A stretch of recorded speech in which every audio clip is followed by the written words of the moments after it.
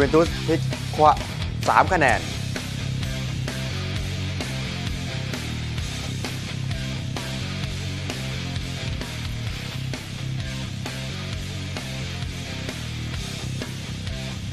วิลเลียมส์นำแรปเตอร์บุกถล่มฮอคส์ประเดิมครึ่งหลังฤดูกาลปกติ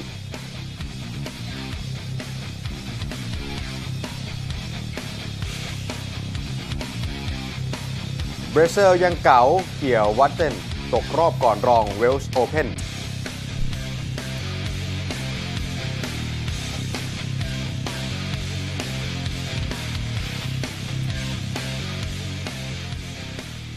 วัสดีครับ สวัสดีครับต้อนรับเข้าสู่ช่วงเที่ยงนะครับ รายการ Sport Today Weekend นะครับ มาติดตามความเคลื่อนไหวต่างๆ ในวงการกีฬาเหมือนเดิม เช่นเคยวันเสาร์แบบนี้ ผลการแข่งขันกีฬาก็มีพอสมควรครับ ใช่ครับ ก็พบกันเป็นประจำนะครับสำหรับ Sport Today Weekend ครับเสาร์และอาทิตย์นะครับ 12นาฬิกาถึง 12นาฬิกา30 นาทีโดยประมาณทาง True Sport 2 แห่งนี้นะครับครับวันนี้เริ่มต้นครับ ช่วงแรกเหมือนเดิมนะครับ ด้วยอ่าผลการแข่งขันฟุตบอลนะครับ ซึ่งเมื่อคืนนี้ครับทั้งกัลโช่เซเรียอาและก็ลาลิกาสเปนมีเตะที่อิตาลีครับยูเวนตุสครับก็ลงเล่นก่อนโรม่านะครับแล้วก็ทำแต้มทิ้งห่างทีมรองจ่าฝูงเป็น 10 คะแนนไปเรียบร้อยครับหลังจากเปิดบ้านแซงเอาชนะอาตาลันตาได้ครับ เกมที่ยูเวนตุสสเตเดียมนะครับ เจ้าถิ่นยูเว่ครับ ส่งทั้งคาร์ลอสเตเวสแล้วก็เฟร์นันโดยอร์เรนเต้ลงเป็นคู่หัวหอกนะครับ แต่มาเสียประตูให้อาตาลันตาซึ่งกำลังทำแต้มหนีตกชั้นไปก่อนครับ ในจังหวะนี้ครับ นาทีที่ 25 การโขกลูกเตะมุมของจูลิโอมิยัคโชครับเช็ดเสาเข้าประตูไปหมดสิทธิ์สำหรับจีจีบุฟฟอนครับอาตาลันตาบุกมาสร้างเซอร์ไพรส์ขึ้นนำก่อน จังหวะโฉบที่เสาแรกนะครับ จอร์โจเคียลลินี่จะเตะสกัดก็ไม่ทันครับ ไม่มีตัวคุมเสาอยู่นะครับ แต่ว่ายูเว่ก็มาตามตีเสมอได้ครับ จากจังหวะลูกตั้งเตะเหมือนกันนาที 39 แล้วเนี่ยนะครับโอ้โหจังหวะชุนละมุนครับเฟร์นันโดยอเรนเต้ครับเขี่ยลูกนี้เข้าไปจนได้ครับตีเสมอให้กับยูเว่เป็น1ต่อ1มีโปรแกรมแชมเปี้ยนส์ลีกรออยู่กลางสัปดาห์นะครับอัลเลกรีเองก็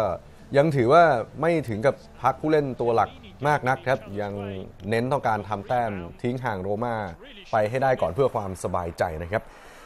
แล้วยูเว่ก็ใช้เวลาไม่นานหลังจากตีเสมอครับ อันเดรียปีร์โลครับ เป็นฮีโร่จากการสับไกลลูกนี้กว่า 35 หลานะครับบอล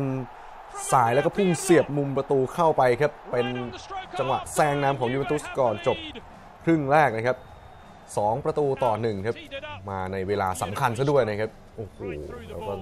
ต้องบอกว่าปีร์โลก็ยังมีเขี้ยวเล็บกับลูกยิงไกลอยู่นะครับ ครึ่งหลังครับยูเว่เปลี่ยนตัวผู้เล่นหลักๆออกไปบ้างนะครับ แต่ว่าจังหวะนี้ครับปอลป็อกบา ก่อนจะโดนเปลี่ยนออกนะครับ โขกลูกนี้ แต่ว่าไปติดเซฟสปอร์ติเอลโลครับ ไม่ได้ประตู 3-1 แต่ก็ไม่มีผลนะครับ ช่วงที่เหลือยูเว่รักษาสกอร์ไว้ได้ครับ เอาชนะอาตาลันตา 2 ประตูต่อ1ครับ มีเพิ่มเป็น 57 คะแนนตอนนี้ก็ทิ้งห่างโรม่าเป็น 10 แต้มไปแล้วครับ หลังจากลงสนาม 24 เกม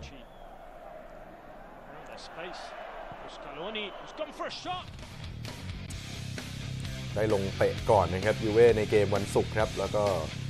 เป็นหน้าที่ของโรม่านะครับที่จะต้องเตะตามมานะครับในการทำแต้มไล่ครับขณะ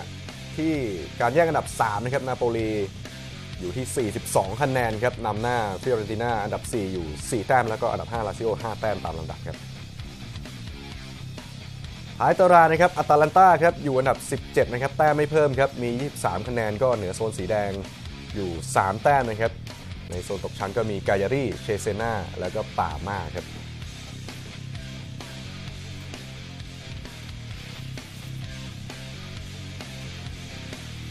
ในเรื่องของสึกกัลโชเซเรียอานั้นมีฟุตบอลลงสนามกันคืนนี้ด้วยเช่นเดียวกันนะครับซามพ์โดเรียนี่จะพบกับเจนัวนะครับ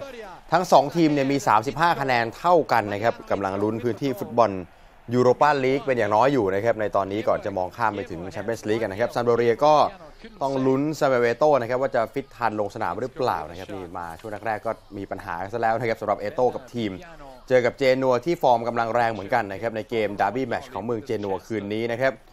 โดยที่เทรนเนอร์ของซามพ์โดเรียนะครับซินิซามิไฮโลวิชก็ผิดหวังนะครับที่ล่าสุดลาซามพ์เนี่ยสะดุดครับไม่ชนะในเซเรียอามาถึง 4 นัดแล้วครับล่าสุดก็ไปแพ้เคียโวอีก 1 ประตูต่อ2นะครับ ก็หลังจากที่ขายกับเบียดินี่ไปให้กับนาโปลีฟอร์มก็แผ่วๆเหมือนกันนะครับในฤดูกาลนี้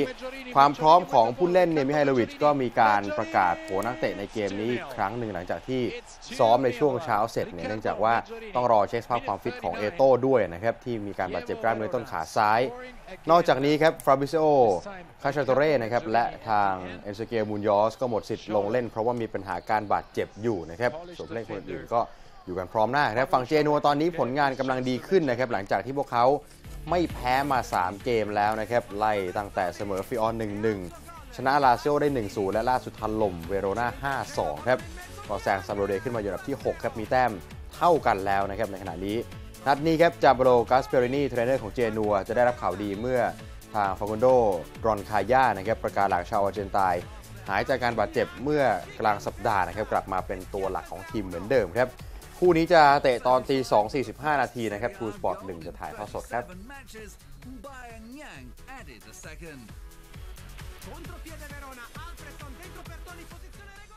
เมื่อคืนนี้ลาลิกาสเปนก็ลงเล่นนัดที่ 24 ของฤดูกาลนะครับ แล้วก็เกตาเฟ่ครับ ก็สามารถจะเปิดบ้านเอาชนะเอสปันยอนได้ 2 ประตูต่อ1ถือเป็นชัยชนะในคืนวันศุกร์ครั้งแรกในรอบ 9 ปีของเกตาเฟ่เลยนะครับ เจ้าถิ่นเกตาเฟ่ก่อนลงสนามก็มีแต้มเหนือโซนตกชั้นอยู่เพียงแค่ 4 คะแนนนะครับขณะที่เอสปันยอนค่อนข้างลอยตัวครับ กับเป้าหมายในการอยู่รอดฤดูกาลนี้เพราะว่าอยู่อันดับ 8 นะครับเกตาเฟ่ในชุดสีน้ำเงินครับ เปิดฉากบุกใส่แล้วก็ทำประตูขึ้นนำได้นาที 33 จากการเข้าฮอสของปาโบลซาราเบีย Alexis from the right hand side. จังหวะเปิดของอเล็กซิสรูอาโนเข้ามานะครับแล้ว โฉบมาที่เสาแรกไม่ล้ำหน้าครับซาราเบียแต่เปลี่ยนทางผ่านกิโก้กาซิยาเข้าไป ครึ่งหลังนาที 57 กาเตาเฟ่หนีห่างเป็น 2-0 อีกครับคราวนี้ซาราเบียเป็นคนแอสซิสต์ครับผ่านบอลให้อัล v าโรบาสเกสครับศูนย์หน้าตัวเป้ากดลูกนี้เข้าไปเป็น 2 ต่อ 0สำหรับเกตาเฟ่ Alvaro Vasquez, he does not celebrate against his former state layoff from him and Alvaro ลี Vasquez. ลาของซาราเบียครับ ซึ่งคืนฟอร์มนะครับ แล้วการเข้าฮอสของอัล v าโรบาสเกสศูนย์หน้าที่ก็ยิงประตูได้ต่อเนื่องในช่วงหลังครับ เอสปันยอนมาไล่ตามตีไข่แตกได้ก่อน จะทดเวลาแค่นาทีเดียวนะครับ จากการวอลเล่ระยะไกลแบบสุดสวยครับของอานาอิสอาบิยาครับ Shot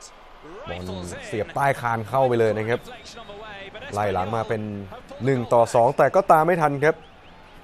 หมดเวลาการแข่งขันเคตาเฟ่เอาชนะเอสปันยอนไปได้ครับในลาลิก้าคืนวันศุกร์นะครับ 2 ประตูต่อหนึ่ง It is right into the top left-hand corner for Espanyol. ตารางคะแนนของศึกลาลิก้าสเปนนี่ก่อนที่ทั้งเรอัลมาดริดบาร์เซโลนาและแอตเลติโกมาดริดจะลงสนามเรอัลมาดริดนั้นนำบาร์เซโลนาอยู่คะแนนเดียวนะครับในขณะที่นำแอตเลติโกมาดริดอยู่ถึง 7 คะแนนครับพื้นที่แชมเปี้ยนส์ลีกยังถือว่าได้ขับเคี่ยวกันสนุกนะครับบาเลนเซียเซบียารวมไปถึงบียาร์เรอัลครับ ท้ายตารางนี่มีถึง 3 ทีมที่คะแนนติดๆกันเลยนะครับกรานาดา 19 คะแนน เลบานเต้ 19 คะแนน และคอร์โดบานะครับ มีแต้มน้อยกว่าเพื่อนอยู่คะแนนเดียวครับ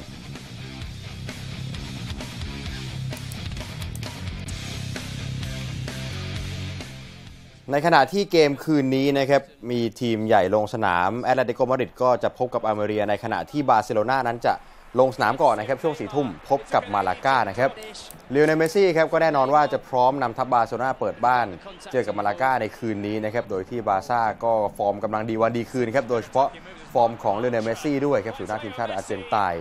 ก็กำลังอยู่ในช่วงที่มั่นใจครับเมสซี่หลังจากที่ขึ้นปีใหม่ก็ช่วยให้บาร์ซ่าชนะ 11 เกมติดต่อกันเข้าไปแล้วนะครับ ในขณะนี้บาร์ซ่ามีคะแนนตามหลังเรอัลมาดริดอยู่เพียงแค่แต้มเดียวเท่านั้นครับเมสซี่ยอมรับว่าถึงแม้ฤดูกาลที่แล้ว เขาจะยิงไป 41 ประตูแต่ผลงานไม่ดีนะครับ บาร์ซ่าไม่ได้แชมป์รวมทั้งเรื่องนอกสนามด้วยครับที่ถูกสอบเรื่องของภาษีของส่วนตัวเขาอะนะครับจากการไปของติโต้ บีลาโนว่า ก็เป็นปัญหาหนึ่งด้วยนะครับ แต่ว่าในตอนนี้กลับมาเป็นปกติแล้วครับ แล้วก็กำลังพอใจกับผลงานในปัจจุบันครับ แล้วก็ต้องการช่วยทีมให้ได้มากที่สุดครับ เกมนี้บาร์ซ่าขาดแค่โธมัส แฟร์มาเลนนะครับที่เจ็บยาวอยู่แล้วครับ รวมไปถึงเอ่อไกดักลาสครับางด้านบาร์ซ่าก็ถือว่าสมบูรณ์นะครับสำหรับการแข่งขันในคืนนี้ มาลาก้าเป็นทีมอันดับที่ 7 ของตารางนะครับมี 35 คะแนนครับซึ่งพวกเขาแพ้ไป 2 เกมรวดแล้วนะครับการมาเยือนที่แคมป์นูถือว่าเป็นงานที่ลำบากสำหรับพวกเขาครับแต่ว่าไม่เคยบุกมาชนะที่นี่ตั้งแต่ฤดูกาล99ถึง2000นะครับทำดีที่สุดก็คือในฤดูกาลนั้นนะครับการบุกมายันเสมอหนเดียวเท่านั้นครับ คาบิกาเซียกุนซือของมาลาก้ายอมรับนะครับบอกบาร์ซ่าเนี่ยเป็นทีมที่แข็งแกร่งจริง ๆ แต่ว่ามาลาก้าก็ยังคงเล่นตามแนวทางเดิมนะครับเกมนี้มาร์ติเนสจะไม่มีอิกนาโชคามาโช และนอรินอัมบราบัตนะครับสองผู้เล่นตัวหลักของทีมที่ติดโทษแบนนะครับชมได้ช่วง4ทุ่มนะครับ True Sport HD 2 จะถ่ายทอดสดครับถ้าชนะก็มีโอกาสขึ้นนำจากฝูงชั่วคราวเหมือนกันนะครับ บาร์ซ่าแล้วมามาลาก้าก็มาขาดผู้เล่น 2 คนสำคัญซะด้วย สำหรับโตโยต้าไทยพรีเมียร์ลีกครับวันนี้นี่มี super match นะครับซึ่งฤดูกาลนี้นี่มาเร็วเลยครับตั้งแต่สัปดาห์ที่2นะครับ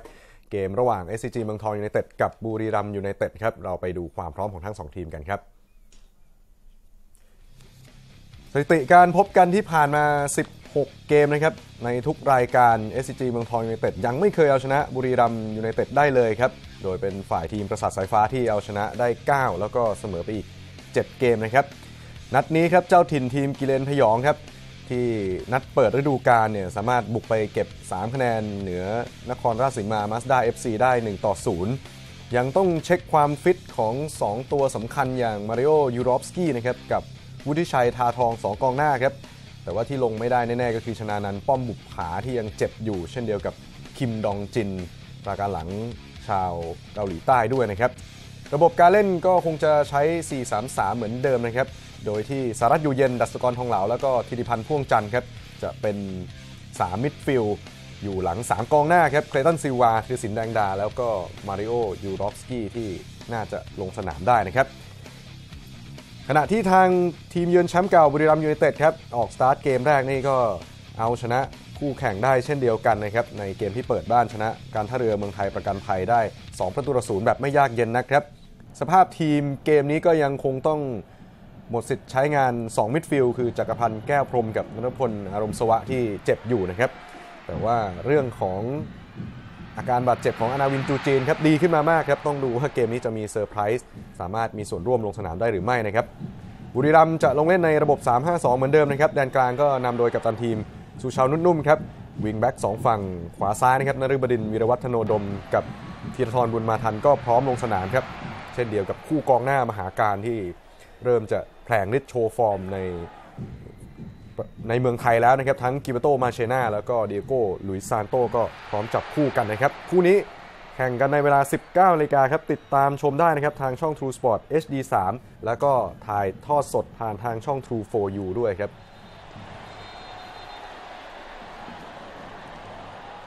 ช่วงแรกก็เป็นเรื่องของฟุตบอลนะครับทั้งผลการแข่งขันและพรีวิวต่างๆนะครับช่วงหน้ามีผลกีฬารอบโลกอีกที่น่าสนใจอีกมากมายรอท่านผู้ชมอยู่ครับพักกันก่อนครู่เดียวครับ